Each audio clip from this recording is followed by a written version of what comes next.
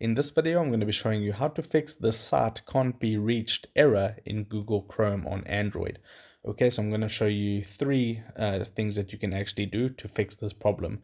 Okay, the first one is you actually want to clear your browsing history. So once you're on Chrome, just tap on the three vertical dots at the top right hand corner and then you want to go to where it says history uh, right there it says history tap on history. Okay once you're on the history page just tap at the top where it says clear browsing data.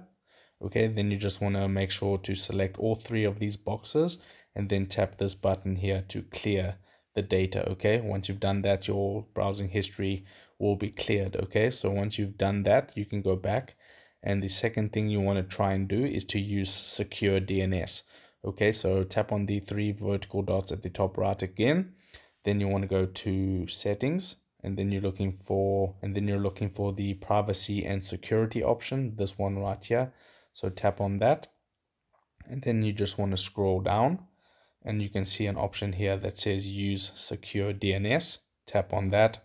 And then you just want to tap on choose another provider and then you want to tap the drop down and you can use OpenDNS at the bottom okay? That's what you can do for the, that step okay? Then check back to see if your error has been uh, fixed. Once you've tried that if it's still not working then what you can do is you can use a VPN to try and access the website that you were trying to access. So if you just go to the Google Play Store and search for a VPN pretty much any one of these will be a good VPN to use just to test if that is in fact the issue.